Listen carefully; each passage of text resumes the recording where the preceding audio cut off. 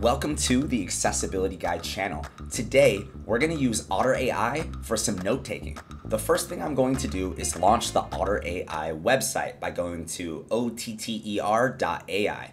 That brings me to my home screen. Now, I do have a paid for account, but most of what I'm going to show you today can be done using the free version of Otter AI.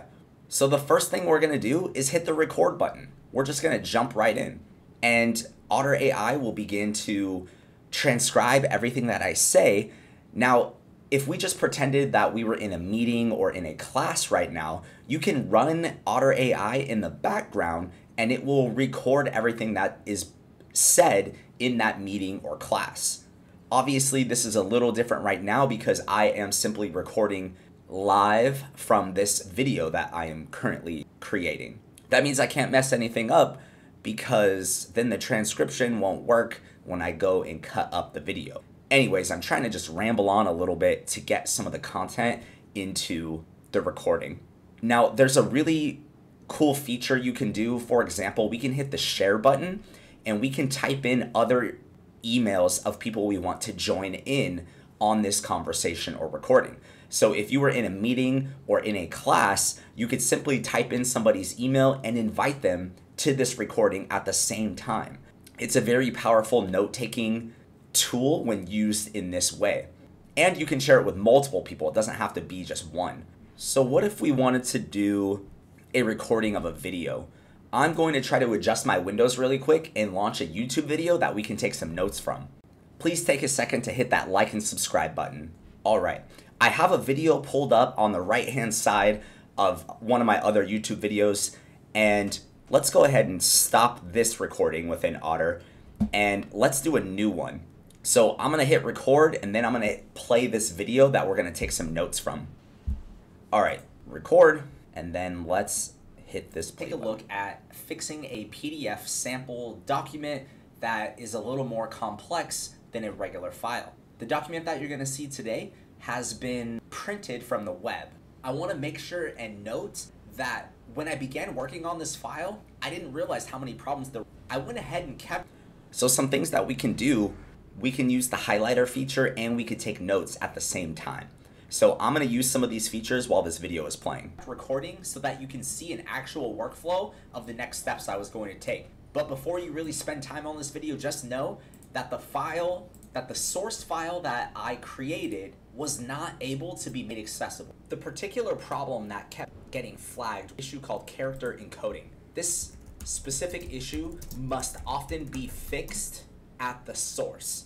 And I could have spent some more time on figuring out a more accessible way to but in this example video, I simply did control P, got my PDF, and I tried to fix it some of the methods that I normally use. However, they didn't work. Finally, I had to take the file into a third-party program called App in order to get a flattened OCR PDF that I could then start to make accessible. With all of that said, please enjoy the actual. The first thing I like to do is run the accessibility checker. To do that, I'm going to select the accessibility button and then accessibility check, and let's just take a preliminary scan at some of the problems in this file. If I expand these accessibility check options, all right, so we saw a couple of things. Let's go ahead and stop recording for now. Now, it's pretty cool. You can go in and add action items. You can do highlighting of text.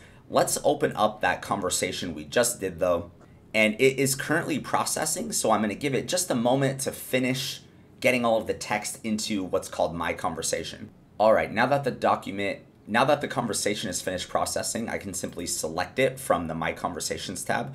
And then here is my notes here are my notes. I can't talk today. Uh, so the first thing I notice on the far right hand side, we have things called takeaways. These are all of the highlights that I did in the document. And what's cool about this is you can come in and assign them to other people that are also doing note taking within this conversation, or you can assign them to yourself.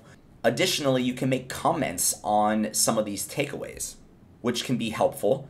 You can also add in text notes for this conversation. These items will be on the exam next week. And then you can also link these notes.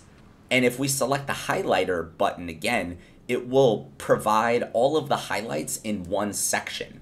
You can also export all of the highlights out by either text, uh, document or a PDF. You can do timestamps. And also, we can assign speakers. So if you did have multiple people speaking throughout this transcript, you could easily apply the different speakers.